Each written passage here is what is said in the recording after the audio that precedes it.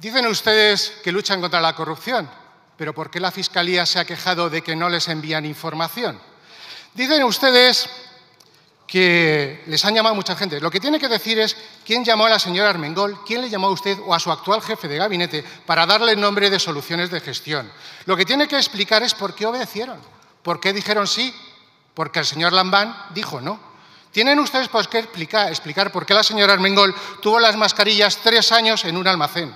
¿Se trataba, señorías, de apurar plazos para que caducase una posible reclamación de reintegro?